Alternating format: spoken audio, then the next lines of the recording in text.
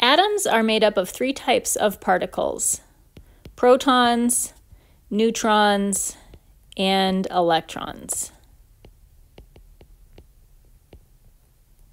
The protons and neutrons are clustered together in the center of the atom in a space that we call the nucleus.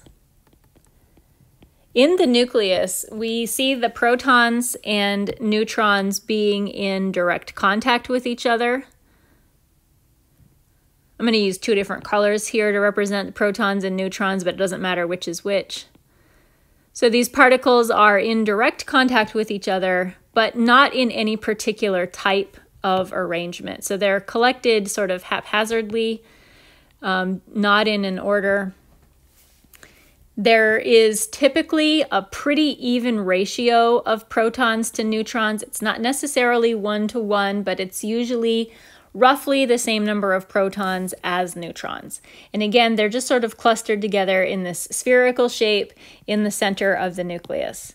The electrons are not in contact with each other. They're not clustered together. They're also not in contact with the nucleus. So they're just hanging out in this area of space outside of the atom. In this area of space, we refer to as the electron cloud. A lot of times you'll see kind of like a boundary or an outline drawn to indicate the, the location of the electrons or the cloud. But I kind of don't like to do that because drawing that boundary implies that there is an outer edge to the atom. It makes it seem kind of like it's a, a basketball where it has like an exterior. And in, we know that an atom isn't like that. The atom itself is a lot like a cloud, it just doesn't really have a definite edge to it or boundary. So I'm going to leave that perimeter off and we're just going to have these electrons drawn in here to show that they are occupying this area of space around the nucleus. Protons and electrons are charged particles. The proton has a charge of plus one and the electron has a charge of minus one. And in all atoms, the number of protons is equal to the number of electrons. So these charges balance each other out or cancel each other out. Every positively charged proton is balanced by a negatively charged electron. I know in this drawing that I made up here, I made a lot of electrons and I did not make that many protons, um, but this ignore ignore that aspect of my drawing. So in an atom, the number of protons is equal to the number of electrons, and the atom itself um, does not have any sort of net charge or overall charge because all of the positive and negative charges are in balance. We do see that sometimes atoms lose electrons or gain electrons, which causes the protons to outnumber or be outnumbered by electrons, which results in a charged particle, which we'll talk about that later on. Neutrons, on the other hand, have no charge. They're just neutral.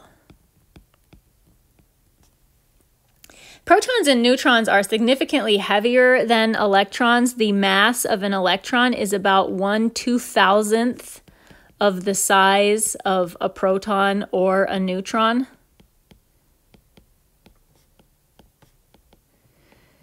So it takes 2,000 electrons to add up to the mass of one single proton or one single neutron. And no atom has 2,000 electrons. That's, that's a ton. Um, they don't even have 200 electrons in them. So for the mass of an atom, the mass of the atom comes essentially from the mass of the protons and neutrons. And when we're determining the mass of an atom, we typically ignore the mass of an electron because it really doesn't contribute anything significant to the mass overall. Protons and neutrons are roughly the same size, they're relatively equal in weight to each other. The protons, neutrons, and electrons are all um, abbreviated because we, we talk about them quite a bit. So rather than having to write their names out all the time, proton is abbreviated with a lowercase p with a plus in the superscript which should make sense. Uh, P for proton and plus to indicate its charge. The neutron is abbreviated a lowercase n with a zero superscript. The zero is to indicate that it is a neutral particle without a charge. And the electron is a lowercase e with, you guessed it, a negative charge, negative sign in the superscript. And so this is this is really just sort of a, a, overview, a generalization of the structure of the atom. And in the next few videos, we're going to get into quite a bit more detail, including a, a better description of the location of the electrons in the cloud.